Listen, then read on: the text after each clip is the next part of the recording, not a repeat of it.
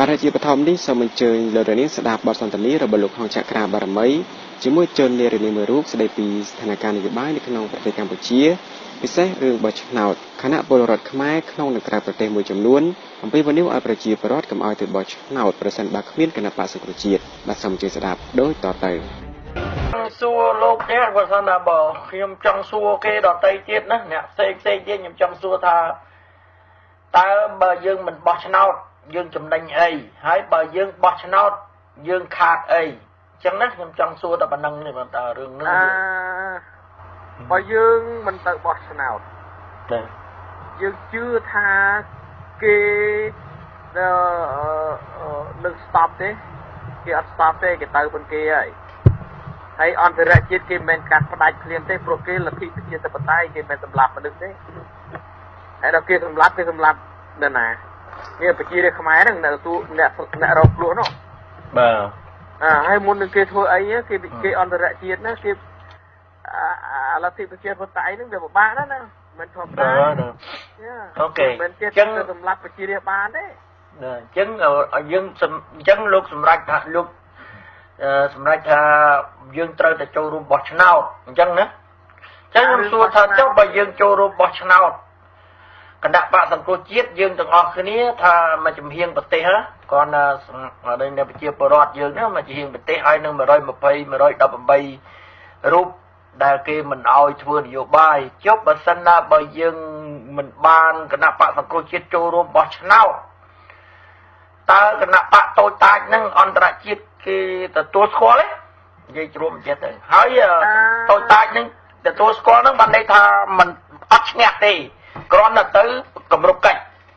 អត់ឈ្នះគណៈបកប្រជាជនទេត្រូវហើយអានេះយើងដឹងច្បាស់ហើយដឹងច្បាស់ហ្មងដឹងច្បាស់ថាទៅគម្រប់កិច្ចតើអន្តរជាតិគាត់ទទួលស្គាល់ទេអឺអន្តរជាតិគេទទួលស្គាល់ហើយតែតែចេះហ៊ុនសែនវាមានល្បិចវាអឺអ៊ំធានឯងត្រូវដឹងប្រាប់តាហងចក្រាផងទៅអឺវាមានល្បិចវាវាមិនមែនឲ្យអាគណៈបតូចតតាចនឹងអត់កៅអីទេយល់នៅ វាឲ្យឲ្យមានឲ្យមានឲ្យមានខ្លះជាពិសេសគណៈបកវណ្ណបច្ចហ្នឹងណាគណៈបកវណ្ណបច្ចអនបំផុតក៏បាន15កៅអីដែរអូខេអូខេអគណៈបញ្ញាបញ្ឆាយទៅបង្កើតថ្មីដែលញឹកបតែទៅចេញនេះនេះឥឡូវឥឡូវហ្នឹងឥឡូវដឹងហើយដឹងហើយហ្នឹងហ្នឹងហើយអាហ្នឹង7 8កៅអីទៀតអូខេយល់ណាអូខេវាបានកៅអីនៅក្នុងសភាអញ្ចឹងបាទ ហើយគណៈបកមួយពីរទៀតឆន្ទៈខ្មែរគណៈបកនៅនៃមាតុភូមិយើងសត្វថ្មីតែតែចេះអ៊ំប្រធានវាមិនមែនចេះតែឲ្យទេគុំថាគណៈបកវិជនវាចង់បានមនុស្សនោះតែវាមិនមែនចេះតែឲ្យទេនៅរឿងវាឲ្យសំខាន់គឺរឿងវាឲ្យគណៈបកបន្តបច្ចហ្នឹងហើយតិចច្រើនវាមិនដឹងទេណាបាទតែព្រោះវាត្រូវតែបន្លំឲ្យបន្តបច្ចហ៎ដើម្បីទៅគម្រប់កិច្ចដើម្បីគ្រប់គម្រប់កិច្ចតម្ដងនិយាយចំអញ្ចឹងណាវា ដើម្បីឲ្យមានថាលទ្ធិប្រជាធិបតេយ្យនៅក្នុងប្រទេសក្នុងប្រទេសឲ្យអន្តរជាតិគាត់ទទួលស្គាល់យ៉ាហើយក៏ប៉ុន្តែវាមិនឲ្យប៉ាន់ចម្បាច់ទៅចូលធ្វើរដ្ឋាភិបាលជាមួយវាទេអូខេពីព្រោះ50បូក1អង្គប្រធានបាទបាទក៏ប៉ុន្តែវាឆ្លាតវាហៅប៉ាន់ចម្បាច់ឲ្យចូលធ្វើរដ្ឋាភិបាលជាមួយវា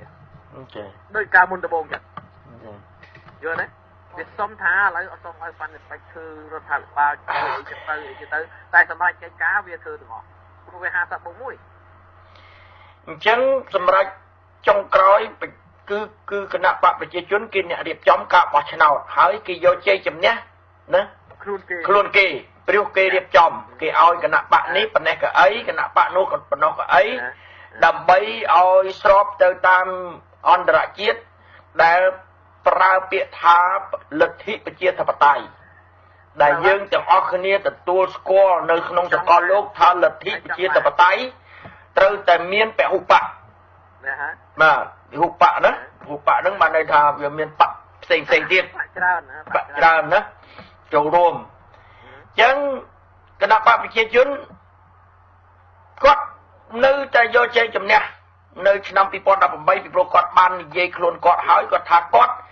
នឹងកាន់អំណាចពីអាណត្តិតទៅទៀតឬដល់ទៅអាយុគាត់91ឆ្នាំឯណោះប៉ុន្តែបើសិនណាបើអាយុគាត់វែងណាអ៊ំប្រធានអ៊ំប្រធានគណៈបកប្រជាជននេះណាបាទប្រធានប្រាប់តាហងចក្រាផងទៅអូខេវាវាវាឈ្នះ100%ទៅហើយវាធ្វើគឺដើម្បីដើម្បីវាហើយឥឡូវគណៈបកកូនគង្គមហ្នឹងណាអ៊ំអ៊ំស្គាល់ដឹងដឹងដឹងឈ្មោះអីអឺអឺ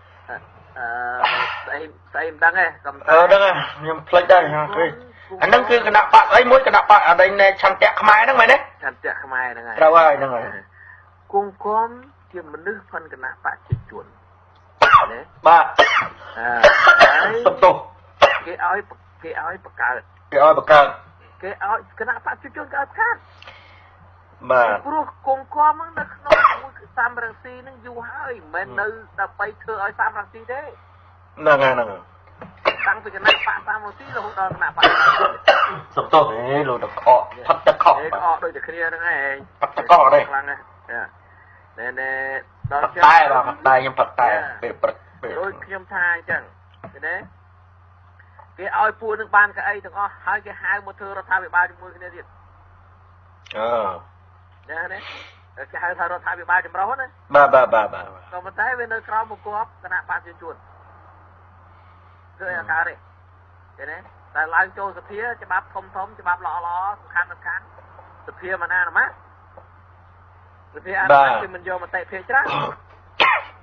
អានេះគេដាក់ងារដូចខ្ញុំដាក់ងារថាអឺសភាស្វាណា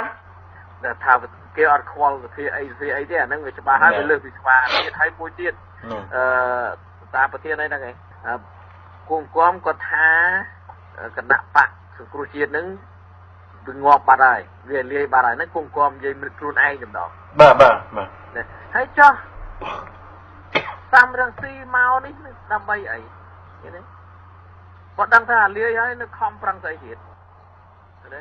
ហើយទៅធ្វើឯការដល់លើនឹងឥឡូវនេះខ្ញុំឃើញឯកសារមួយណានៅខាងគណៈបកឆន្ទៈខ្មែរនិងគណៈបកមិត្តភូមិយើងហ្នឹងគាត់បានអឺចោតឆ្លោយគ្នាហើយគាត់ធ្វើញត្តិមួយដើម្បីកោតទោសគណៈបកសង្គ្រោះជាតិដែលជាគណៈបកដែលស្លាប់រួចទៅហើយហើយកកោកកាយបើកធ្វើឲ្យមានបញ្ហាចលនាសង្គ្រោះជាតិគណៈបកសង្គ្រោះជាតិឲ្យមានបញ្ហានៅក្នុងសង្គម ឥឡូវហ្នឹងគឺថាសុំបំពាវនាវឲ្យកោតទោសជាតម្ងន់ដើម្បីបាទ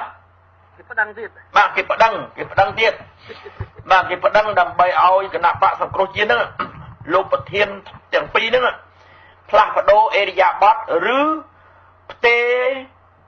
ផ្ទេអដែងណែប្រជាពលរដ្ឋជាងមកចំមកចំហៀងប្រទេសហ្នឹងហើយនឹងអ្នកនយោបាយ118រូបហ្នឹងឲ្យទៅគណៈបក ដូចតាទៅមិនត្រូវទុកខ្លួនឯងណាអឺប្រឆាំងខ្លួនឯងហើយធ្វើឲ្យមានបាតុភិបឲ្យមានបញ្ហាកើតឡើងនៅក្នុងសង្គមទេហើយដូច្នេះគេនឹងកោតទោសថាគណៈបកសង្គ្រោះជាតិជាគណៈបកមួយដែលធ្វើឲ្យមានបញ្ហានៅក្នុងសង្គមមិនមិនមែនជាគណៈបកជួយអដែងអភិវឌ្ឍប្រទេសជាតិទេឥឡូវគេកោតទោសអញ្ចឹងណាអើតើឥឡូវយើងយើងយល់ឃើញថា គណៈបកសង្គ្រោះជាតិដែលប្រធាននិងអនុប្រធានឬអតីតប្រធាននឹងគាត់ជាមនុស្សមួយរឹងទៅតឹងនឹងបញ្ហាអដែងសង្គមឬមួយយ៉ាងម៉េចបានទៅជាមានបាតុភិបឡើងអញ្ចឹងណាលោកហានេះអានេះគេគេរល្បិចកិច្ចកលទេអឺអាពួកដេញអ្នកប្តឹងហ្នឹងក៏វាល្ងងដែរ ហើយបើយើងដឹងថាគណៈបកសង្គ្រោះជាតិហ្នឹងវារលាយវារលំវាងាប់អស់ហើយយើងទៅរករឿងអីវាវាបានប្រយោជន៍ស្អីយើងខ្លួនយើងយើងថាវាលាយតែខ្មៅវាងាប់ទៅហើយកុំទៅកោះមកវិញស្អីស្អីចឹងទៅហើយចុះយើងយើងប្តឹងធ្វើអីយើងខំទៅអីទៀតលេងទៅអីទៀតយ៉ាមិនក៏មិនអឺប្រកាសអានេះឲ្យសមាជិកសមាធិការឬអឺសកម្មជនឬ ប្រជាពលរដ្ឋជាងមកចំហៀងប្រទេសហ្នឹងជូនទៅគណៈបកដែលគេមានអាដេញចុះឈ្មោះនៅក្នុងក្រសួងមហាផ្ទៃទៅណាណាហ្នឹងហើយបកគលអញ្ចឹងទៅមិនក៏មិនប្រកាសនៅតែរឹងធ្វើកពោកកាយឲ្យមានបញ្ហាកើតជាបញ្ហាមិនអញ្ចឹងទេយ៉ាយ៉ាហើយអីឥឡូវមើលឥឡូវពេលវេលាយើងនិយាយរឿងពេលវេលាវិញ2ខែប្រហែលថ្ងៃទៀតទេយើងគិតមើលទៅណា ហ្នឹងហើយយើងគិតមើលទៅយើងគិតមើលទៅណាឥឡូវខែ5ខែ7ពាក្យថាខែ5ហើយខែ7វាមាន12ខែប្រហែលថ្ងៃនោះហើយ2ខែប្រហែលជាថាយើងថា20ផ្លាយថ្ងៃចុះណាអឺអឺហ្នឹងហើយឥឡូវយើងតែថ្ងៃ3ហើយបាទស្អែក4ហើយណាគេគេ4ហើយណាគេ4ហើយហ្នឹងហើយអញ្ចឹងបានន័យថានៅសល់ដល់2ខែ25ថ្ងៃទេឬអឺហ្នឹងហើយ រឿងនេះវាមានតែមួយទេប្រធានហឹមឃើញទេគេនឹងបោះឆ្នោតហើយគេនឹងបោះទេអូខេឥឡូវនឹងអន្តរជាតិខ្ញុំចង់វិលសួរលោកវិញថាតើអន្តរជាតិនេះគាត់នៅតែបង្ខំឲ្យហ៊ុនសែននៅបន្ទន់អេរិយាបថនៅពេលណាទៀតមកខ្ញុំចង់សួរនៅពេលណាទៀតបើបើហ៊ុនសែនវាមិនព្រមបន្ទន់វាអត់បន្ទន់ទេវាអត់បន្ទន់ទេ តើអន្តរជាតិនឹងតើធ្វើវិធីអីតទៅទៀតដើម្បីឲ្យហ៊ុនសែននឹងបន្ទន់ឬឲ្យហ៊ុនសែននឹងអឺទៅរៀបចំការបោះឆ្នោតទៅតាមសន្តិវិធីទៅពីព្រោះពេលវេលាវាគៀកទៅហើយអាហ្នឹងគាត់ថាខ្ញុំចង់បានទេណាពេលនេះពេលគៀកហើយបើសិនណាបើយើងមិនឲ្យហ៊ុនសែនធ្វើការបោះឆ្នោតអត់ដោយសន្តិវិធីតើអន្តរជាតិមានសិទ្ធិអីនឹងលូកដៃចូលក្នុងរឿងហ្នឹងសូមអញ្ជើញឥឡូវតែវាអត់វាអត់មានសិទ្ធអីទេអន្តរជាតិនោះណា អត់ទេអីលោកដែរមកដល់ពេលអូខេហើយម្យ៉ាងទៀតហ៊ុនសែនក៏ដោយហ៊ុនសែនហ្នឹងក៏នៅតែភ្លើដែរធ្វើអីធ្វើទៅចង់សង្គ្រោះជាតិធ្វើមកធ្វើទៅបើយូរថារឹងនៅតែបោះឆ្នោតហើយចាបាទចាបាច់បាច់ពីវនេះស្អីទៀតឈប់និយាយឈប់និយាយទាំងអស់យើងរៀបចំតែបោះឆ្នោតខ្លួនឯងទៅត្រូវហើយអូខេហើយឥឡូវនៅមកអីប្រទីមប្រទីមអីជាមួយគ្នាទៀតយើងចាំមើល រៀបចំបោះឆ្នោតគ្នាឯងនោះទៅហើយចាំមើលតើប្រជាពលរដ្ឋគាត់ទៅបោះឬមិនបោះតែប៉ុណ្្នឹងបានហើយហើយចាំមើលអន្តរជាតិយើងបោះហើយអន្តរជាតិគេនឹងធ្វើអន្តរាគមន៍របៀបម៉េចលើមែនហ្នឹងមិនដឹងអីហើយនេះវាភ្លើភ្លើអាគណៈបកប្រមាណនៃប្រធានលើកលើកមកមិញទៅប្រឹងគណៈបកបកសង្គ្រោះជាតិឆន្ទៈខ្មែរនឹងនឹងអឺស្អីមាតុភូមិយើងគណៈបកមាតុភូមិយើងងង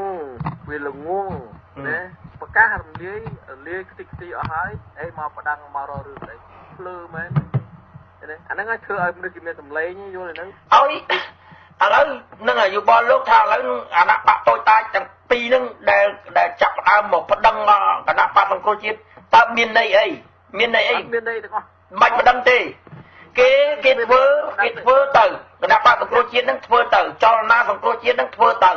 នៅក្រៅប្រទេសនឹងបើធ្វើទៅបានចំណេញក៏ចំណេញបើមិនចំណេញទេយើងអ្នកនៅខាងក្នុងនោះយើងគិតតែរឿងបោះឆ្នោតទៅចាណាទៅបោះឆ្នោតទៅបើកបើកកកោកកាយរឿងតែខ្មែរគ្នាឯងទៅអីឥឡូវយើងចប់ហើយយើងត្រូវឃោសនាហើយចាប់ផ្ដើមឃោសនាឬចាប់ផ្ដើមនៅចុះមូលដ្ឋានមិនចឹងលោកណាសំខាន់ណាស់ណាសំខាន់ដល់យើងបើយើងចង់បានប្រជារាស្ត្រគ្រប់គ្រងតើនយោបាយរបស់យើងនោះយ៉ាងម៉េច យើងចាំបាច់ទៅរករឿងអាគណៈបកដែលគេរំលាយតិចទីអស់ហើយទៅការងារផងយើងឃោសនាយកសម្លេងពីពីត្រឹមត្រូវចាមិនមែនមកប្រឹងគេទេប្រឹងគេតែបើគេបើគេអស់ពលភាពអីគេអត់សុពលភាពហើយទៅប្តឹងទៅទៀតអស់ហ្នឹងចាបាទមានរឿងអីត្រូវប្រឹងទេយើងមិនស្គាល់ផងយើងមិនដឹងឮគណៈបកសង្គមជាតិផងព្រោះគណៈបកសង្គ្រោះជាតិអត់មានអត់មានតួនាទីនៅក្នុងអត់ទាំងអស់បេក្ខជនតំណាងរាស្ត្រឬបេក្ខជនសភានៅក្នុងអាណត្តិទី6នឹងទេជា តែយើងរឿងជាមនុស្សពីរឹកជាប់ឃុំទាំងអស់បាទតើតើយើងនៅខំនិយាយដល់ដល់ណាទៀតត្រូវហើយហ្នឹងអាទៅនឹងប្រធានឯងត្រូវដាក់ឲ្យខ្លាំងខ្លាំងហ្មងយល់អាពួកនឹងវិញប្រាប់លោកតាលោកតាហងចក្រាថាឲ្យលោកតាឯងទៅយល់អាពួកនឹងវិញឲ្យវាឲ្យវាភ្លឺភ្នែកវាខ្លះទៅកុំមកប្រភ្លីប្រភ្លឺឲ្យវាសិតទៅក្មេងក្មេងទៀតដឹកនាំគណៈបកហ្នឹងមកប្រភ្លីប្រភ្លឺស្អីឃើញទេបាទឲ្យតាំង ឥឡូវយើងដឹងទាំងអស់នេះហើយថាគណៈបកសង្គ្រោះជាតិវាអត់អាចរស់ឡើងវិញទេពីព្រោះយើងធ្វើដល់ថ្ងៃនេះទៅហើយនេះដល់ថ្ងៃនេះទៅហើយនេះអត់ឃើញរស់សោះប្រធានអញ្ចឹងយើងខំប្រឹងធ្វើអីខំប្រឹងប្តឹងគ្នាធ្វើអីហ្នឹងហើយឥឡូវប្រធានឯងអានេះអានេះអានេះកេឈ្មោះមួយទៀតហ៎ប្រធានឯងលាំងតាំងអាគណៈបកវិជនទៀតតែគណៈបកយើងព្រឹកអីមកភ្លើខ្លួនឯងបើយើងរំលាយគេហើយមិនកុំរំលឹករំលាយហើយគឺកុំរំលឹកបាទកុំរំលឹកទេ ការយុទ្ធសាស្ត្រ មកពីណែឯងរំលឹកហ្នឹងហើយបានគេនៅចិត្តទៅនៅតាមដេញក្រោយតាមក្រោយនឹងកែងហ្នឹងតាមកែងហ្នឹងលេងអាហ្នឹងមួយលេងអាហ្នឹងមួយល្អមកលេខមួយមកណាដាក់មកប្រើហ្នឹងខំប្រឹងខ្លួនឯងឃោសនាចុះតាមមូលដ្ឋានរៀបចំរចនាសម្ព័ន្ធខ្លួនឯងទៅគ្រប់ក្រសួងទៅណាអឺគ្រប់សញ្ញាប័ណ្ណទៅត្រឹមត្រូវហើយមិនបាច់ គ្រប់ស្ថាប័នទៅមិនបាច់ណាដេញណាអូមកកោកកាយឆ្លោះបកែកជាមួយខ្មោចអាខ្មោចងាប់ហើយមកឆ្លោះជាមួយខ្មោចនេះវាអត់ត្រឹមត្រូវវាសំខាន់យើងដឹងថាខ្មែរកន្លះតកោឥឡូវយើងត្រូវធ្វើម៉េចទេទេទេធ្វើម៉េចទៀមទាខ្មែរហ្នឹងអប់រំខ្មែរហ្នឹងឲ្យកន្លះនគរហ្នឹងមកចូលរួមយើងទៅបានហើយចប់ហើយអឺចប់ហើយហើយមកឆ្លោះជាមួយខ្មោចមិនមកខ្មោចងាប់ហើយហ្នឹងណាឥឡូវហ្នឹងប្រធានឲ្យដាក់ហ្នឹងដាក់អាហ្នឹងមួយគឺលយមក នឹងដាក់អាហ្នឹងដឹងដាក់ឥឡូវហ្នឹងខ្ញុំដឹងដែរហ្នឹងណាអរេដាក់កណាដាក់ដាក់ទាំងកណាបព្វជជនដាក់ដាក់ទាំងអាពួកបដិងអាពួកទាំងអស់ហ្នឹងវាគ្មាននេះទេវាអត់ត្រូវមកឆ្លោះជាមួយខ្មោចទេចាបាទហើយហើយដល់ចង់ក្រោយថាកុំកុំភ្លើពេកហើយអាហ្នឹងយើងនិយាយចឹងទៅថាមកឆ្លោះជាមួយខ្មោចក៏ប៉ុន្តែខ្មោចហ្នឹងវាចេះតែដើរលងគេអេខ្មោចដើរឡងគេមានគ្រូគេហឹមគេមានគ្រូគេប្រក្រាបមានលោកទៅប្រក្រាបកំភៃហឹម អាខ្មោចដើរឡងនេះបានកាយទេសំខាន់នៅលើអដេងគ្រូបាអាចារ្យតាចាណាគ្រូធ្មប់គ្រូអីទៅដែលអ្នកប្រក្រាបខ្មោចហ្នឹងនោះប្រក្រាបឲ្យគេប្រក្រាបខ្មោចបាទគ្រូប្រក្រាបខ្មោចហ្នឹងហ្នឹងហើយអូខេអញ្ចឹងអរគុណច្រើនបាទសូមជម្រាបលាបាទថ្ងៃនេះខ្ញុំបានបានទៅជែកជាមួយលោកម្នាក់បានក្បោះក្បាយណាស់ណាថ្ងៃនេះសូមអរគុណបាទនៅនាងមនស្ដាប់វិទ្យុខ្មែរពីពលរដ្ឋទីគោរពរាប់អានពីម្សិលមិញនេះខ្ញុំជជែកគ្នា តឹងសរសៃកជាមួយនឹងលោកវិស្វករព្រំសោនរាបែបមនុស្សកើតថ្ងៃអាទិត្យយិតគ្នានឹងមនុស្សថ្ងៃសៅរ៍បាទប្រកាសណាស់នៅទីបំផុតខ្ញុំក៏សូមចុះចាញ់ព្រោះមិននឹកចង់ឈ្នះគ្នាឯងនោះទេបាទលោកអ្នកអាចឆ្ងល់ថាតើតមិត្តតកគ្នារឿងអីបាទគ្មានរឿងអីក្រៅពីរឿងនយោបាយស្រុកទេនោះឡើយ គឺលោកវិស្វករលោកបានប្រាប់ខ្ញុំថាលោកនិងខ្ញុំមានមានជំហរខុសគ្នាបន្តិចរឿងបោះឆ្នោតថ្ងៃ29កក្កដាខាងមុខនេះគឺគណៈដែលក្រុមរបស់លោក CAA កំពុងព្យាយាមអន្តងចិត្តឲ្យខ្មែរទៅចូលរួមបោះឆ្នោតកុំធ្វើពហិការដោយដែលលោកសំរងស៊ីកំពុងតែ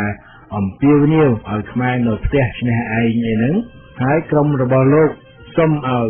ខ្មែរទៅបោះឆ្នោតឲ្យគណៈបក ប្រជាធិបតេយ្យមូលដ្ឋានព្រោះជាបកដែលមានគោលនយោបាយនិងខុសពីគណៈបកសង្គ្រោះជាតិដែលអាខ្វាងវាបានប្រើអំណាចផ្ដាច់ការបែបចោលព្រៃឬបែបឆ្កែចចកសម្រាប់កូនជៀមចាប់លោកកឹមសុខាដាក់គុកហើយបញ្ជាឲ្យតុលាការកំពូលទីមងរបស់វាប្រកាសរំលាយគណៈបកសង្គ្រោះជាតិនោះចោលទៀតខាងខ្ញុំវិញកាលពីមុនខ្ញុំក៏យល់ស្របនឹងគំនិតចូលរួមការបោះឆ្នោតដើម្បីយកលេស ធ្វើបាតុកម្មដែលនឹងនាំទៅដល់ការបះបោរពេញប្រទេសខ្លាយជាបដិវត្តពណ៌ផ្ដួលរំលំគណៈបកចៅព្រៃដែលយួនបង្កើតតែក្រោយមកខ្ញុំយល់ឃើញថាពេលវេលានៅសល់វិជាពេកបាទមិនអាចអន្តងចិត្តឲ្យអ្នកគ្រប់គ្រងគណៈបកសង្គ្រោះជាតិបដូរទៅគ្រប់គ្រងគណៈបកប្រជាធិបតេយ្យមូលដ្ឋានតាន់ពេលវេលាឡើយបើមានមនុស្សគ្រប់គ្រងគណៈបកប្រជាធិបតេយ្យមូលដ្ឋានតិច ព្រោះបកនេះពុំបានធ្វើអ្វីឲ្យប្រជាពលរដ្ឋខ្មែរលោកបានឃើញថាជាបកទឹកស្អាតបាទបកទឹកស្អាតបកបរិសុទ្ធបកល្អបន្តវេនពីលោកបណ្ឌិតកែមលីនោះហ៊ុនសែនវាក៏ច្បាស់ជានឹងទទួលជ័យជំនះបានយ៉ាងងាយដោយនឹងចាំបាច់ប្រើរទេះតង់រត់ផ្ទះដែកចេញមកប្លន់ជ័យជំនះពីអ្នកណាដោយកាលពីឆ្នាំ2013ទៀតដល់អញ្ចឹងទៅតើយើង នឹងយកអ្វីមកធ្វើជាលេសដើម្បីធ្វើបាតុកម្មតវ៉ាជំហររបស់ខ្ញុំដែលគ្មានអ្នកណាគេគ្រប់គ្រងទេនោះព្រោះព្រោះពុំមានអ្នកណាគេស្ដាប់ខ្ញុំផងទេនិយាយមែនទេហើយនោះគឺខ្មែរយើងទាំងអស់គ្នាត្រូវធ្វើពហិការកុំចូលរួមការបោះឆ្នោតដូចនេះដរាបណាពួកអាឈាមយួនវាមិនព្រមដោះលែងលោកកឹមសុខានិងអនុញ្ញាតឲ្យគណៈបកសង្គ្រោះជាតិរស់ឡើងវិញ ហើយចូលរួមការបោះឆ្នោតគណៈបកប្រជាធិបតេយ្យមូលដ្ឋានដែលដើមឡើយក៏បានប្រកាសថានឹងធ្វើពហិការតែក្រោយមកក៏បែរជាមកចុះឈ្មោះចូលរួមជួយទប់ជើងក្រែឲ្យអាខ្វាងទៅវិញគួរតែដកខ្លួនកុំចូលរួមហើយប្រកាសចូលរួមជាមួយនឹងគណៈបកសង្គ្រោះជាតិតែម្ដងទៅនេះបើសិនជាមេដឹកនាំគណៈបក ប្រជាធិបតេយ្យមូលដ្ឋាននឹងជាអ្នកស្នេហាកម្ពុជាមែននោះក្រៅពីនេះក៏ត្រូវស្រុះគ្នាធ្វើបាតុកម្មប្រឆាំងជប៉ុនប្រឆាំងអូស្ត្រាលីដែលនៅតែបង្ហាញជំហរគ្រប់គ្រងក្រុមមនុស្សគម្រក់នៅភ្នំពេញតទៅទៀតនឹងជំហររបស់ខ្ញុំគឺសូមឲ្យខ្មែរក្រោកឡើងធ្វើបាតុកម្មបដិសេធការបោះឆ្នោតតាំងពីដើមទីព្រោះវាជាការបោះឆ្នោតបែបលបែងលេងសើចថោកទៀតជាទីបំផុត បោះឆ្នោតគ្រាន់តែបង្ក្រប់ទឹកឲ្យពួកអាមនុស្សដេរិឆាណោបន្តកាន់កាប់អំណាចនៅស្រុកខ្មែរតទៅទៀតតែប៉ុណ្ណឹងបានលោកវិសាកនិងអង្គការ CAA របស់លោកគេមានហេតុផលរបស់គេក្នុងការអំពាវនាវឲ្យខ្មែរទៅបោះឆ្នោតគឺបោះឆ្នោតឲ្យបាក់តូចតូចដែលមានអ្នកខ្លះហៅថាបាក់អាបបាក់ធ្មប់ឬក៏បាក់អំពិលអំពែងហ្នឹងតែជាបាក់ដែលអាចទទួលយកបានជាពិសេស សូមឲ្យអ្នកគ្រប់គ្រងគណៈបកសង្គ្រោះជាតិនឹងចេញទៅបោះឆ្នោតឲ្យគណៈបកប្រជាធិបតេយ្យមូលដ្ឋានរបស់លោកយេងវិរៈលោកសំអ៊ិនលោកសាមអ៊ិនលោកយ៉ងសង្គមឯនឹងបាទមើលពីចងាយទៅឃើញថាមិនមានសង្ឃឹមថានឹងអាចឈ្នះអាខ្វាងបានឡើយព្រោះគោលបំណងគឺឲ្យបកដតីក្រៅពីបកយួនបង្កើតឈ្នះឆ្នោតហើយបើអាខ្វាង យករទេះតង់រត់ទាដៃចេញមកប្លន់សម្លឹកឆ្នោតដូចកាលពីឆ្នាំ2013ទៀតខ្មែរក៏នឹងក្រោកឡើងទាមទារសិទ្ធិរបស់គេណាទាមទារសម្លេងឆ្នោតរបស់គេហើយបើកាលណាអាខ្វាងបញ្ជាឲ្យបាត់ដៃទី3បង្ក្រាបបាតុករដោយកាលពីដើមឆ្នាំ2014នេះក៏នឹងជាឱកាសល្អសម្រាប់ឲ្យយើងផ្ទុះជាបដិវត្តឡើង ហើយសហគមន៍អន្តរជាតិក៏នឹងលូកដៃចូលមកធ្វើអន្តរាគមន៍ខោកអំបែងក្បាលអាគម្រក់ខ្វាងហើយអង្គរៈរបស់វៀតណាមម្នាក់ក៏ច្បាស់ជានឹងបែចុងកំភ្លើងបាញ់អំបែងក្បាលអាចង្រៃនេះនៅថ្ងៃ8ខែ8ឆ្នាំ2018ឆ្នាំ2018នោះតាមទំនាយជាមិនខានឡើយបានដល់ជជែកយកឈ្នះយកចាញ់ទៅរៀងខ្លួនអីចឹងខ្ញុំក៏សូមចុះចាញ់បាទព្រោះ មិនសូវពូកែរឿង debate ខ្ញុំមានចំណុចខ្សោយរឿងនេះនឹកវាមិនតាន់គេបាទបែងក្បាលវាទក់អស់ទៅហើយហើយប្រាប់ថានឹងឈប់និយាយរឿងនេះតទៅទៀតខ្ញុំបានប្រាប់លោកវិស្វករអញ្ចឹងតែខ្ញុំឈប់និយាយគឺឈប់អំពាវនាវឲ្យខ្មែរធ្វើពហិការនិយាយថាចង់ធ្វើអីក៏ធ្វើទៅសូមអញ្ជើញមកសេរីបាទតែ ខ្ញុំរក្សាចិត្តក្នុងការអំពាវនាវឲ្យខ្មែរធ្វើមហាបាតុកម្មខ្លាំងក្លាចាប់តាំងពីថ្ងៃបុណ្យខួបឆ្នាំទី2នៃការសម្លាប់លោកបណ្ឌិតកែមលីដោយពួកអាក្របីកញ្ចេះយួនបាទខ្ញុំបានសន្យាថានឹងឈប់ជំរុញឲ្យខ្មែរធ្វើពិធីការការបោះឆ្នោត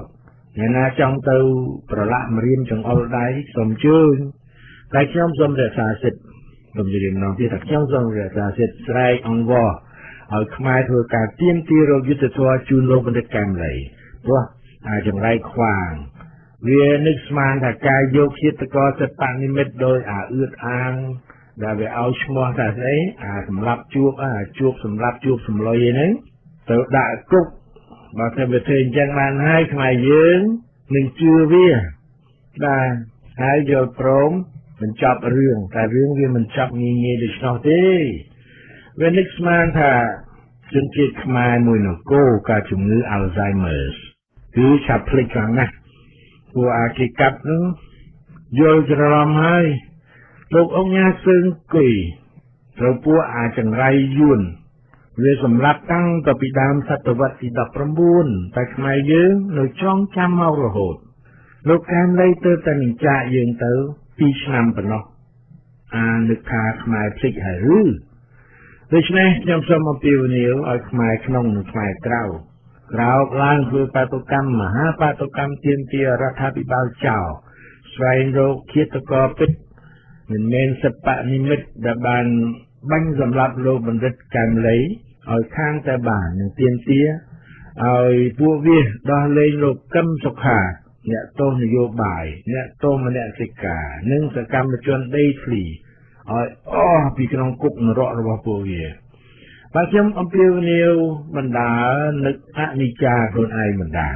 ព្រោះដឹងថាសម្រែករបស់ខ្ញុំមិនខុសពីសម្លេងក្រមុំដើរខ្យល់ឡើយគឺស្រីក្រមុំពេលផាយខ្យល់ម្ដងម្ដងគេមិនហ៊ានឲ្យលឺសំឡេងឲ្យលឺសូរទេបាទមានក្រមុំខ្លះដែលទប់មិនបានលិចខ្យល់តាមទ្វារធំលាយនឹងសំឡេងស៊ីតមកផងកណ្ដាលទីប្រជុំជន ក៏កើតសេចក្តីខ្មាស់អៀនស្ទើរជ្រែកផែនដីបាទស្អីឡើងឪពុកម្ដាយដែលកាលពីម្សិលមិញសើចក្អាកក្អាយដែលកូនស្រីលិចផោងកណ្ដាលវាលក៏នាំគ្នាត្រហូយំព្រោះមីនាងវាលោកទៅចងកសម្រាប់ខ្លួនបាទបាទរឿងនេះមានមែនកាលពីច្រើនឆ្នាំមកហើយការដែលទៅខ្មែរចេះជៀនចេះខ្មាស់បាទមិនដូចសពថ្ងៃនេះទេពួកមីសំផឹងយួននៅភ្នំពេញ វាឈោលិតខោនោមដាក់អញ្ចឹងផ្ទះគេធ្វើហីបាទអរលោកនាងមានស្ដាប់ពិធីគ្រប់រាប់បាននិយាយពីរឿងបោះឆ្នោតថ្ងៃ29កក្កដានេះហើយគួរឲ្យសង្វេគក្នុងចិត្តជាទីបំផុតអាខ្វាងវាទាំងគម្រាមទាំងសម្លុតខ្មែរឲ្យទៅបោះឆ្នោតហើយវាក៏ប្រើស្ដេចទីងងដែលកើតមកដើម្បីតែជាឧបករណ៍ឲ្យពួកអាកន្តោកវាលេបទឹកដីខ្មែរប៉ុណ្ណោះនោះ បានចេញសារអំពាវនាវឲ្យអ្នកដែលមានសិទ្ធិបោះឆ្នោតគ្រប់គ្នាទៅបោះឆ្នោតឲ្យបានទាំងអស់គ្នាដើម្បីជ្រើសរើសអ្នកដឹកនាំប្រទេសជាតិដែលទ្រង់សម្ដៅចំពោះអាចង្រៃខ្វាង ដើម្បីការអភិវឌ្ឍនិងការរីកចម្រើនស្កើងស្កាននៅលើគ្រប់វិស័យមកពាក្យថាស្កើងស្កានក៏សរសេរខុសជាស្កើងស្កានទៅទៀតបាទ ហើយស្ដេចទីម៉ូនេះក៏បានសរសេរទៀតថាវាគឺជាការបោះឆ្នោតជាទូទៅជាសកលដោយសេរីត្រឹមត្រូវយុត្តិធម៌ស្មើភាពនិងដោយសម្ងាត់កូនចៅកុំខ្លាចអញ្ជើញគ្មាននរណាបបង្ខំទេត្រូវតែចេញទៅបោះឆ្នោតទាំងអស់គ្នាបោះឲ្យអាខ្វាឬស្អីហ្នឹងទៅបោះឲ្យវាធ្វើអី ម្ចាស់ខ្លាយហើយមិនដឹងជាត្រង់ដឹងពីណាថាវាសេរីត្រឹមត្រូវយុត្តិធម៌ស្មើភាពអីហ្នឹងនិយាយក៏ហក់ទាំងដុលតម្រង់បាទអាស្ដេចលខោនកៃរឿងនេះយ៉ាប់ជារឿងគួរឲ្យស្ដាយហើយក៏គួរឲ្យអាណិតណាស់ដែលព្រះអង្គមកធ្វើស្ដេចទីងងទុកឲ្យអាខ្វាងនេះយួនវាប្រើសម្រាប់ធ្វើឲ្យមើលឃើញថាការគ្រប់គ្រងកម្ពុជារបស់ពួកចង្រៃវានឹងត្រឹមត្រូវល្អណាស់ អរលោកអ្នកមានពេលបានគិតគូរពីរឿងស្រុកទេពីរឿងនយោបាយខ្លះក៏ឃើញមានតែពួកបញ្ញវន្តខ្លះពួកយុវនិស្សិតខ្លះដែលមានដងខាងធ្វើការប្រៀបធៀបតែប៉ុណ្ណោះនេះបើមិនត្រូវក្រុមរបស់អាចង្រៃខ្វាង គឺកូនកូនវានឹងទិញក្បាលអស់ទៅហើយនោះក្រោយទៅជាសេនាញាកសេនាព្រូនអីផងជាបាទ នៅក្រុមភាគច្រើនគេគ្មានពេលតាមដានស្ថានភាពនយោបាយតាមរយៈវិទ្យុកំពេចកំប៉ុកដោយវិទ្យុខ្មែរពិភពលោករបស់យើងនេះទេយ៉ាងច្រើនណាស់គេក៏ស្ដាប់វិទ្យុធំធំគេមានពេលតែសម្រាប់មើលទូរទស្សន៍កំសាន្តសប្បាយនឹងនាទីផ្សេងផ្សេងក្រៅពីនេះក៏មាន Facebook ដើម្បីថត selfie បង្ហាញមុខគ្នានិងបង្អួតគ្នាពីភាពមានបានរបស់ពួកគេបាទតែប៉ុណ្្នឹង ហើយបន្ថែមលើនេះទៅទៀតក៏មានគេយកគុណផ្សេងផ្សេងបាទដែលគេ live ឲ្យមើលរាល់ថ្ងៃ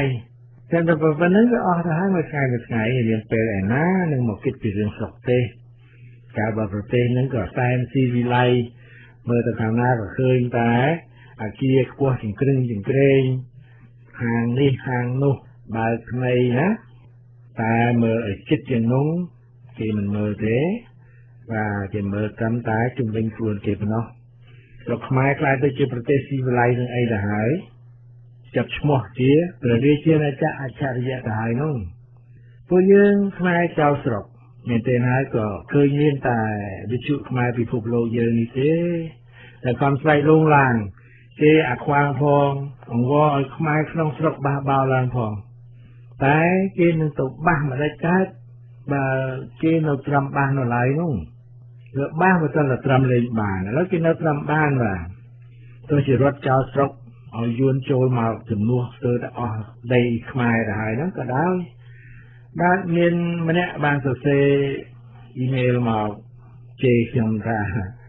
ចាតាកញ្ចាស់ឯងចង់ឲ្យខ្មែរបាសម្លេចក៏មិនមករៀបចំបាតុកម្មនៅខ្លួនឯងទៅអីក៏បានតែម៉ាត់អញ្ចឹង បាទខ្ញុំនេះក៏វាបានប្រកាសច្រើនលើកច្រើនគ្រាហើយថាសប្តាហ៍ហ្នឹងនៅសល់តែមាត់តែប៉ុណ្្នឹងទេខ្ញុំទៅមានសមត្ថភាពឬលទ្ធភាពអីនឹងទៅដឹកនាំបាតកងបាតកម្មនេះនោះដើម្បីជួយឲ្យលោកអ្នកដែលនៅក្នុងស្រុកបានរួចផុតពីស្ថានភាពដែលខ្ញុំគិតថាវាគ្រោះថ្នាក់ជាងស្លាប់ព្រោះថាវាជាការស្លាប់ទាំងរស់តែបើអស់លោកអ្នកនាងនៅធន់ត្រឹមបាន ខ្ញុំទៅធ្វើជំនួសធ្វើអីខ្ញុំយល់ថាលោកអ្នកនាងខ្លះគិតថាបានប៉ុណ្្នឹងហើយចង់បានអីទៀតបើភ្នែកមើលឆ្ងាយឆ្ងាយបន្តិចទៅមើលកុំធ្វើមើលតែកង្កែបនៅក្នុងអណ្ដូងបាទសប្តាហ៍ថ្ងៃនេះបណ្ដាញស្អីទៅស្អីហ្នឹងវាមានច្រើនណាស់ទៅហើយយើងអាចមើលឃើញភាពខុសគ្នារវាងស្រុកខ្មែរយើងឬមិនបាច់អីទៅឆ្ងាយទេគ្រាន់តែទៅស្រុកសៀមបន្តិចហ្នឹងក៏ឃើញថាវាខុសគ្នាដែរដូចជា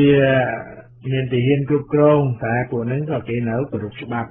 វាខុសគ្នាពីស្រុកខ្មែរយើងដែរពួកអាមេមេវាធ្វើអីស្ដាច់តែនឹងចិត្តបាទខ្ញុំចង់ឲ្យខ្មែរយើងយកសពពីការ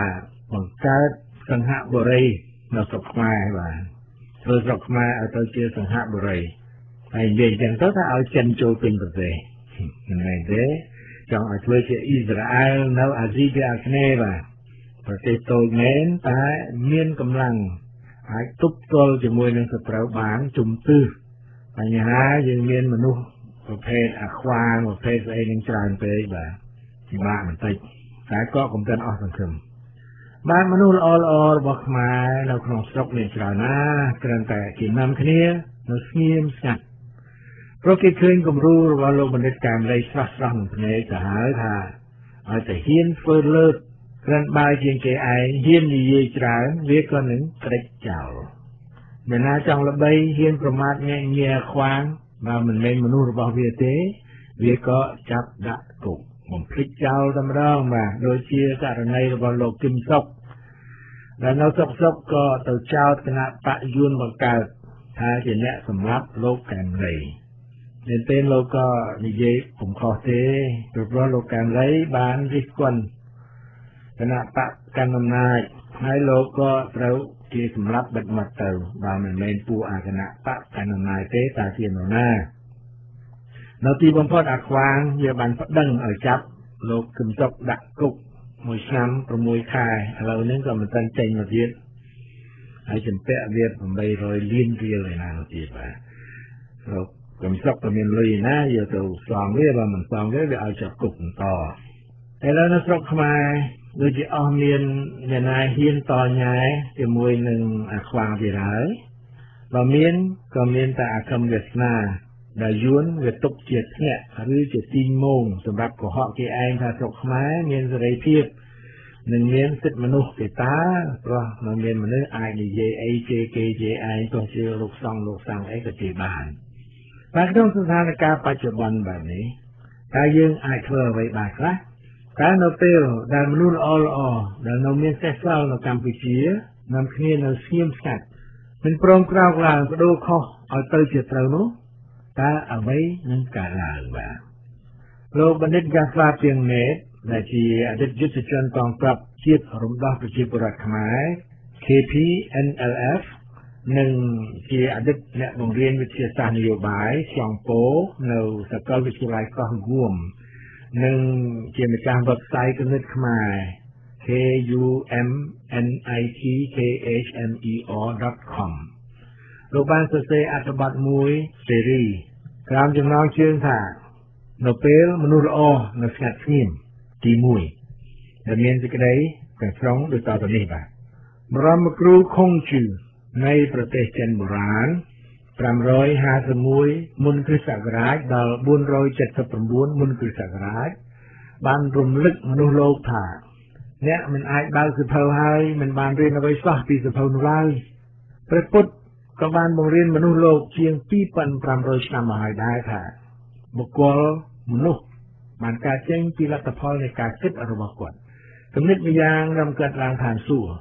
គំនិតម្យ៉ាងទៀតនាំគាត់ចុះឋាននរកគឺខ្លួនគាត់ហើយ ដែលយកគំនិតទៅបង្កើតពិភពមួយសម្រាប់គាត់រស់នៅតាមគាត់គិតគាត់ជាអ្នកទទួលខុសត្រូវលើអ្វីដែលគាត់បានឬមិនបានធ្វើរីឯលោក John F Kennedy 1917ដល់1963អតីតប្រធានាធិបតីអាមេរិកទី35បានថ្លែងថាមនុស្សម្នាក់អាចនឹងស្លាប់ប្រជាជាតិក្នុងលោកអាចនឹងលេចឡើងហើយអាចនឹងលេចចុះរីឯគំនិតរបស់មនុស្សលោកវិញ នឹងនៅរស់មានជីវិតទៅថ្ងៃមុខទៀតខាងលោកអ្នកនិពន្ធដ៏ល្បីជាតិអាល្លឺម៉ង់ម្នាក់គឺលោក Johann Wolfgang von Goethe បានសរសេរថាដឹងហើយនៅមិនទាន់គ្រប់គ្រាន់ទេយើងត្រូវអនុវត្តទៀតមានចន្ទៈហើយក៏នៅមិនទាន់គ្រប់គ្រាន់ដែរយើងត្រូវធ្វើឡើងបទតិចរបស់អ្នកគិតពិចារណានយោបាយអភិរក្សជាតិជាឡង់ដល់បីល្បាញម្នាក់គឺលោក Edmund Burke ឆ្នាំ1729ដល់1797ដែលគេបានយកមករំលឹករហូតដល់សប្តាហ៍ថ្ងៃមានចែងថារឿងតែមួយគាត់ដែលចាំបាច់សម្រាប់ជ័យជំនះនៃអំពើអាក្រក់គឺបុគ្គលមនុស្សដែលល្អនៅស្ងាត់ស្ងៀមមិនធ្វើអ្វីសោះណាទៀតបាទរឿងតែមួយគាត់ដែលចាំបាច់សម្រាប់ជ័យជំនះនៃអំពើអាក្រក់គឺបុគ្គលមនុស្សដែលល្អនៅស្ងាត់ស្ងៀមមិនធ្វើអ្វីសោះ ខ្ញុំសូមវិលត្រឡប់មកពាក្យសម្ដីរបស់មេដឹកនាំចលនា Transcendentalist ក្នុងសតវត្សទី19គឺលោក Ralph Waldo Emerson ឆ្នាំ1803ដល់1882ដែលជាទស្សនវិទូជាតិអាមេរិកដ៏មានឥទ្ធិពលផ្លូវគំនិតមកលើខ្ញុំតាំងពីពេលខ្ញុំចាប់ផ្ដើមត្រីមាសទី1នៅសាកលវិទ្យាល័យក្នុងឆ្នាំ1961សំណេររបស់លោក Emerson ដែលបានបំផុលគំនិតខ្ញុំថាមនុស្សលោកមានសមត្ថភាពអាចសម្រេចធ្វើបាននៅអ្វីអ្វីស្ទើរតែទាំងអស់នោះលោកបានថ្លែងជាថាពេលវេលាឥឡូវនេះក៏ដូចជាគ្រប់ពេលវេលាដែរគឺជាពេលវេលាដ៏ល្អប្រសើរប្រសិនណាបើយើងដឹងថាតើយើងចង់យកពេលវេលានោះទៅធ្វើអ្វីនៅប្រទេសកម្ពុជាសប្តាហ៍នេះអាយុជីវិតប្រទេសជាតិមិនអាចគេចផុតពីការប្រយុទ្ធរវាងខ្មែរតស៊ូ មតិលទ្ធិប្រជាធិបតេយ្យនិងខ្មែរកាន់អំណាចផ្ដាច់ការនៅក្រោមការដឹកនាំរបស់លោកនាយករដ្ឋមន្ត្រីហ៊ុនសែននៃបននៃគណៈបកប្រជាជនកាន់អំណាចនៅក្នុងអត្ថបទខ្ញុំថ្ងៃនេះខ្ញុំសូមណែនាំបងប្អូនឲ្យពិនិត្យសិក្សាជាមួយខ្ញុំអំពីលទ្ធិប្រជាធិបតេយ្យដែលត្រូវរបបអំណាចផ្ដាច់ការហ៊ុនសែនគម្រាមកំហែងបទប្រយោគមាន3កថាខណ្ឌខាងលើបង្ហាញនៅទស្សនៈថាការគិតរបស់បុគ្គលមនុស្ស ជាលទ្ធផលនៃដំណើរជីវិត ដែលផ្ដល់នៅវិញ្ញាណយល់ឃើញគឺ perception ដែលជាកត្តាមួយជំរុញយើងឲ្យធ្វើឬមិនធ្វើនៅសកម្មភាពអ្វីមួយហើយគឺខ្លួនយើងនេះឯងហើយជាអ្នកទទួលខុសត្រូវលើអនាគតរបស់ប្រជាជាតិចាស់ទុំខ្មែរបានប្រដៅថាគិតហើយសឹងគូលទ្ធិប្រជាធិបតេយ្យឬ democracy ជាលទ្ធិគ្រប់គ្រងមួយ ដែលអង្គភាពភូមិសាស្ត្រក្រិកបុរាណឈ្មោះ Athens ឬអាថែនជារដ្ឋទី1នៅក្នុងលោកបានអោបក្រសោបតាំងពីក្នុងសតវត្សទី5មុនគ្រិស្តសករាជមកម្លេះមូលដ្ឋានគ្រឹះនៃរបបគ្រប់គ្រងរបស់អាតែនគឺឈរនៅលើមូលដ្ឋានជំនឿរបស់ពលរដ្ឋក្រិកថាគេជាមនុស្សមានសេរីភាពនិងមានការយល់ដឹងគ្រប់គ្រាន់អំពីកិច្ចការពលរដ្ឋក្រិកយល់និងជឿថា ការចូលរួមក្នុងកិច្ចការនៃអង្គភាពភូមិសាស្ត្រអាតែនជាភារកិច្ចនិងជាកិត្តិយសរបស់ប្រជារាស្ត្រក្រិកទាំងមូលការយល់ដឹងនិងជំនឿនោះបានคล้ายទៅជាវប្បធម៌ក្រិកបុរាណដែលបានត្រូវគេចាត់ទុកថាជាមូលដ្ឋានគ្រឹះនៃវប្បធម៌និងនៃកំណើតរបស់អរិយធម៌ពិភពលោកខាងលិចដែរពាក្យថាវប្បធម៌គឺសំដៅទៅលើចិត្តគំនិតអរិយាប័ត្ររបៀបរបបរបស់មនុស្ស ជាទូទៅនៅក្នុងសង្គមគឺប្រជារាស្ត្រក្រិកទាំងមូលគេជឿថាជាអីចឹងក៏ប៉ុន្តែប្រជាពលរដ្ឋខ្មែរយើងបានត្រូវទទួលការបង្ហាត់បង្រៀនរាប់រយឆ្នាំឲ្យគោរពកោតខ្លាចបម្រើការពារស្ដាប់វិជាបុគ្គលជាមេដឹកនាំរហូតដល់ស្រាប់ខ្លួនវប្បធម៌ខ្មែរពីបុរាណមកគឺជាវប្បធម៌ដែលដាក់មនុស្សទាំងកាយទាំងប្រាជ្ញាឲ្យនៅក្នុងទ្រង់ទេសភាព ហើយគឺយ៉ាងនេះឯងបានជាមានជាថាវប្បធម៌ខ្មែរមិនដែលស្គាល់ថាអ្វីជាលទ្ធិប្រជាធិបតេយ្យឡើយនៅក្នុងពាក្យ Greek democracia មានពាក្យ demos ដែលបកប្រែជាខ្មែរថារាជឬពលរដ្ឋនិងពាក្យ gracia បកប្រែថាគ្រប់គ្រងឬរដ្ឋាភិបាល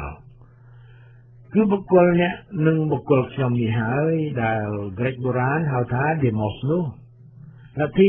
democracia ឬ demos បូកនឹង gracia មានន័យថារាជឬប្រជាពលរដ្ឋជាអ្នកគ្រប់គ្រងពលគឺប្រជាពលរដ្ឋជាអ្នកគ្រប់គ្រងអង្គភាពភូមិសាស្ត្រដែលហៅថារដ្ឋយ៉ាងនេះហើយបានជាមានពាក្យស្លោកថារដ្ឋាភិបាលរបស់ប្រជាពលរដ្ឋដោយប្រជាពលរដ្ឋនិងសម្រាប់ប្រជាពលរដ្ឋក្រុមខ្មែរតស៊ូមតិតាំងតពីចំនួនស្ដេចបានហៅលទ្ធិ democracia ថាជាលទ្ធិប្រជាធិបតេយ្យ ពលគឺមានរាជឬប្រជាពលរដ្ឋជាអធិបតីនៅក្នុងការគ្រប់គ្រងនគរគឺថានៅក្នុងលទ្ធិប្រជាធិបតេយ្យយើងលើកដំកើងប្រជារាស្ត្រឬប្រជាពលរដ្ឋជាធំ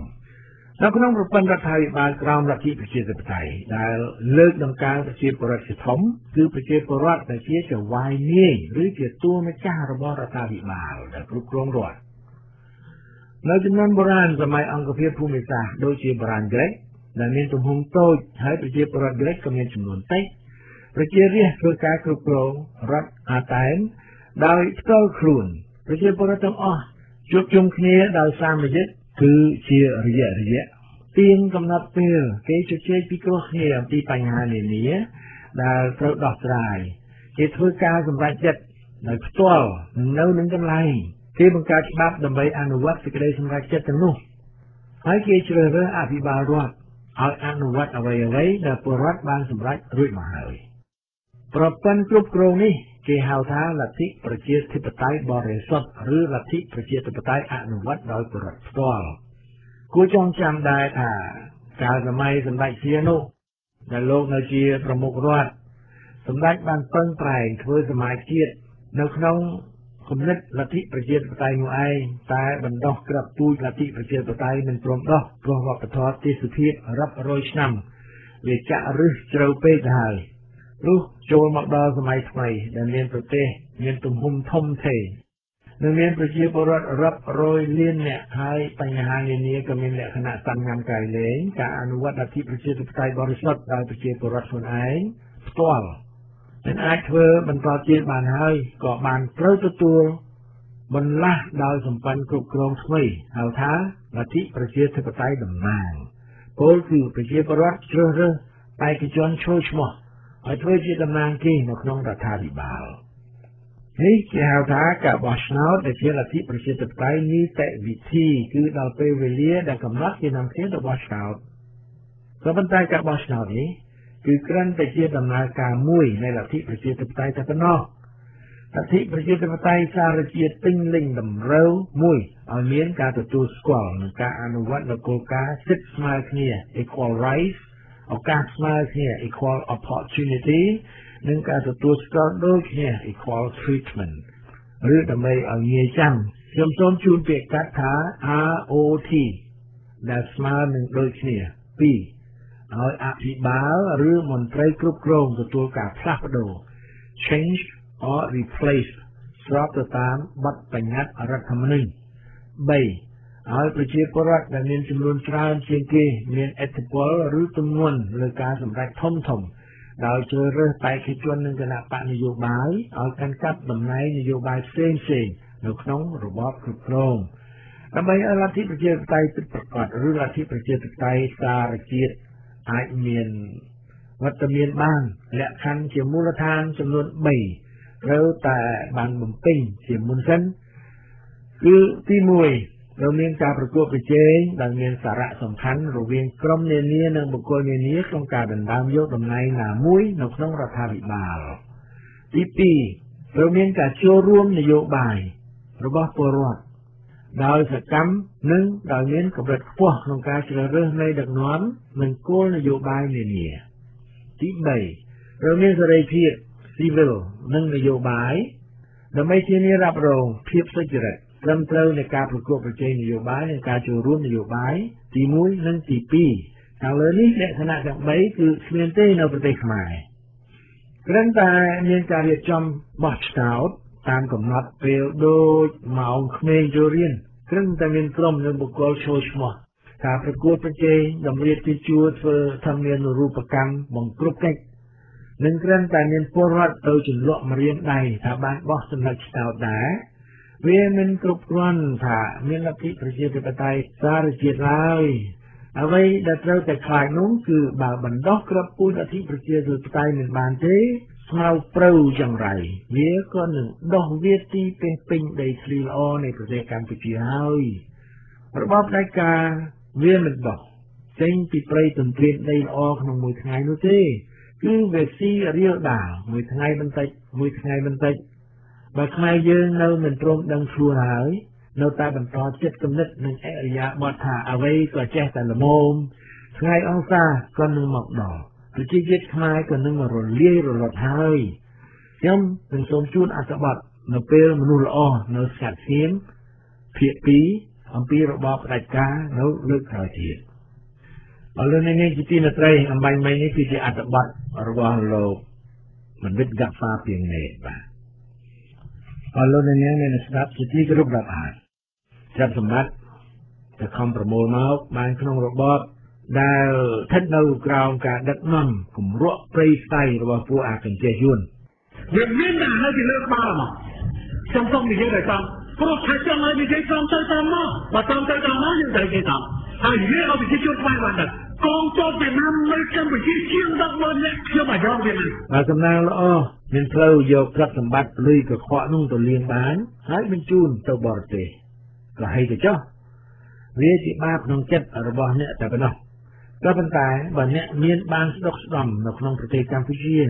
មិនយូរមិនឆាប់ទេវាក៏នឹងវិនិច្ឆ័យហើយអស់ទៅវិញព្រោះស្រុកនេះប្រទេសនេះនឹងធ្លាក់ទៅក្នុងកណ្ដាប់ដៃរបស់ពួកអាកន្តោបនិងអាតូហៀ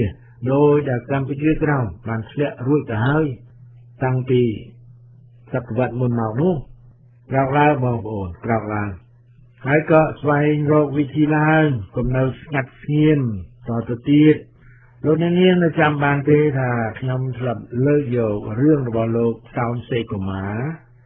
ដែលខ្ញុំសូមចាត់ទុកថាជាបរិះខ្មែរដ៏អស្ចារ្យម្នាក់នោះមកជម្រាបថាលោកមានផែនការសម្ងាត់មួយ ដើម្បីជួយខ្មែរឲ្យរួចផុតពីកណ្ដាប់ដៃយួនចិននិងប្រទេសនានាទាំងអស់យ៉ាងងាយស្រួលជាទីបំផុតបាទគំនិតចង់ឲ្យមាន បារមីជាសេះសមកនេះនៅតែមិនផុតចេញពីផ្នត់របស់គំនិតខ្មែរបាទតែមកទល់នឹងពេលនេះសេចក្តីព្យាយាមរបស់លោកសោមសេកុមារនិងរបស់កូនយើងមួយចំនួន ក្នុងការពញ្ញាក់ស្មារតីកម្ពុជាអ្នកវិទ្យាសាស្ត្រអាមេរិកហើយមកយកចិត្តទុកដាក់នឹងគំហើញរបស់លោកស្ដីពីទ្រឹស្ដី Big Bang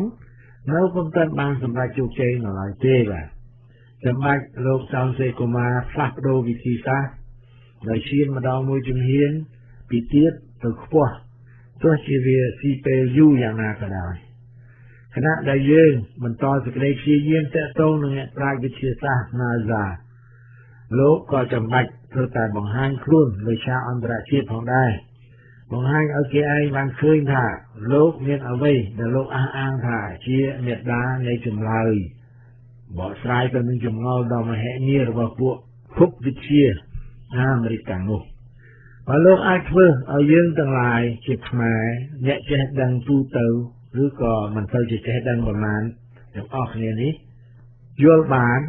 កើតអាការៈស្ងើចអស្ចារ្យក្នុងចិត្តទៅនឹងសេចក្តីអធិប្បាយរបស់លោកបានគោលដៅរបស់កូនយើង គឺធ្វើឲ្យ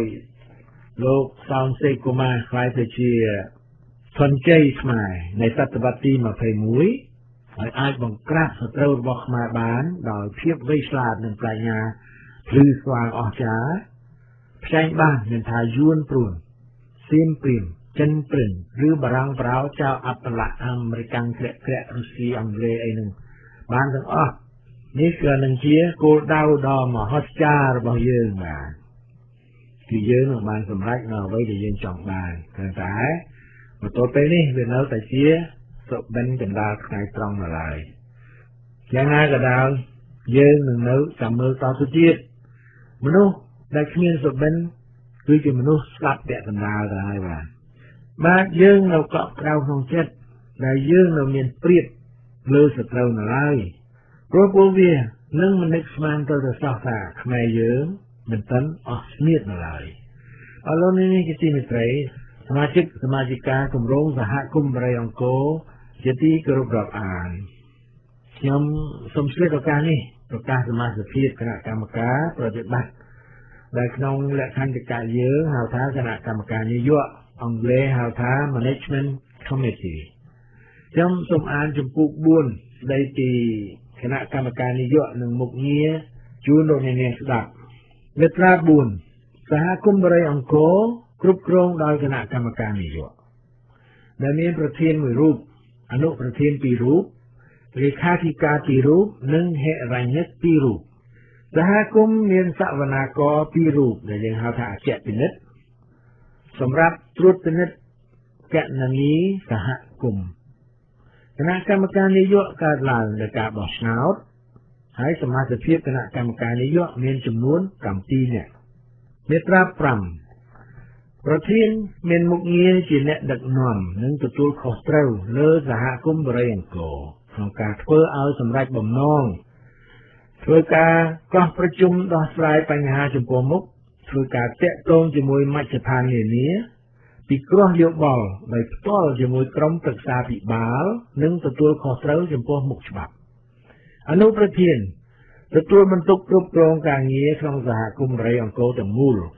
រៀបចំលើកគម្រោងចំណាយចំណូលប្រចាំឆ្នាំនិងប្រចាំអាណត្តិដែលក្រុមខ្លួនដឹកនាំសហគមន៍នេះជំនួសមុខឲ្យប្រធាន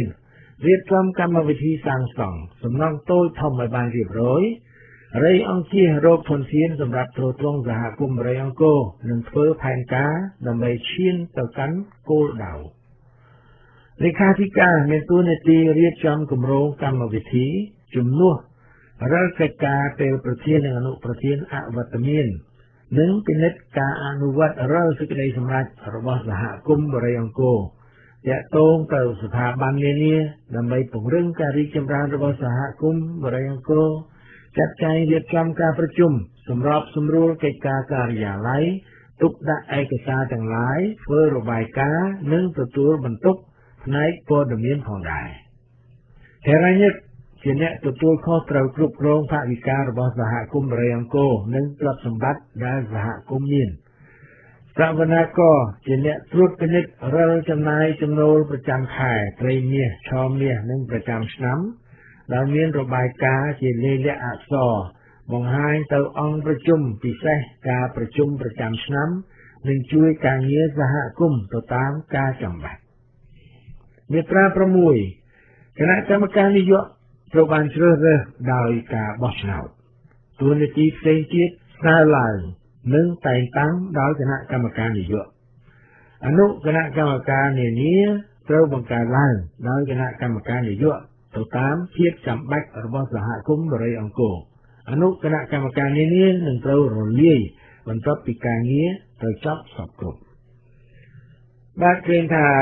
យើងមានលក្ខន្តិកៈច្បាស់លាស់គ្រាន់តែថាកន្លងមកយើងពុំបានយកមកអនុវត្តបាទប្រកាសហើយរឿងច្បាប់របស់សហគមន៍យើងរបស់បរិយអង្គរមានមានច្រើនមានវែងយូរម្ដងខ្ញុំនឹងលើកយកមករំលឹកទួនាទីរបស់គណៈកម្មការដើម្បីឲ្យកូនយើងភ្ញាក់រលឹកជានិច្ច យើងត្រូវចាត់ទុកលក្ខន្តិកៈរបស់សហគមន៍ជាគម្ពីរ Bible របស់យើងដើម្បីឲ្យការងារអាចឈានទៅមុខបានហើយតទៅនេះគឺជាសមាជិកភាពនៃគណៈកម្មការនយោបាយអាណត្តិទី2ដែលនឹងចាប់ដំណើរការចាប់ពីថ្ងៃទី1មិថុនា2018ស្អែកនេះទៅបាទប្រធានសាងសវិតអនុប្រធានផ្នែកសេដ្ឋកិច្ចលោកថាច់ចន្ទធីអនុប្រធាន ផ្នែកកិច្ចការទូទៅលោកផាវយ៉ៃអគ្គលេខាធិការលោកខណិតសុកអគ្គលេខាធិការរងលោកថាច់គៀហេរញ្ញិកលោកអ៊ិនសេរីហេរញ្ញិករងលោកសុនសម្បូរអគ្គពិនិត្យឬសវនាករអ្នកស្រីនិលសុគន្ធានិងលោកផៅយ៉ៃ បាទខ្ញុំបានតកតងសាកសួរការយល់ស្របការយល់ព្រមរបស់សាមីខ្លួនទាំងអស់នេះហើយដូច្នេះយើងនឹងចាប់អនុវត្តដោយដែលបានប្រកាសអំបញ្ញមិញនេះទៅបាទអរលោកអ្នកនាងនៅស្ដាប់ពីទីគ្រប់រាប់អានពីនេះព្រោះថ្ងៃនេះសូមអេវ៉ាន់តែប៉ុណ្ណេះចោះមែនទេខ្ញុំមានរឿងមួយទៀតចង់ជម្រាបព្រោះថាយើងជាខ្មែរគួរតែនាំគ្នាធ្វើអំពើ ធ្វើអំពើដាក់អាខ្វាងម្ដងឬថាវានឹងមានគ្រូមានអីអឺខ្លាំងខ្លាណាស់គ្រាន់តែដងវាយឬក៏រំដាប់របស់វារត់រយជន់គឺថាវាធ្វើពិធីឡើងគ្រូវានឹងរាល់ថ្ងៃសិលបាទព្រោះយើងខ្មែរយើងមានចំនួនច្រើនអមហិមាសយើងគួរតែប្រើបារមីរបស់ផងយើងសង្គ្រប់ទៅលើពួកវាវិញបាទ យ៉ាងណាក៏ដោយអាខ្វាងវាអួតអាងពីបារមីរបស់វាថាខ្លាំងខ្លាខ្លាំងណាស់រហូតដល់ជ្រុលមាត់ប្រាប់យើងពីកញ្ចប់ដួងใจឬចំណុចខ្សោយរបស់វាគឺវាបានផ្កើនឲ្យខ្មែរចៅស្រុកដែលគំរាមដុតទីមងតំណាងឲ្យរូបវា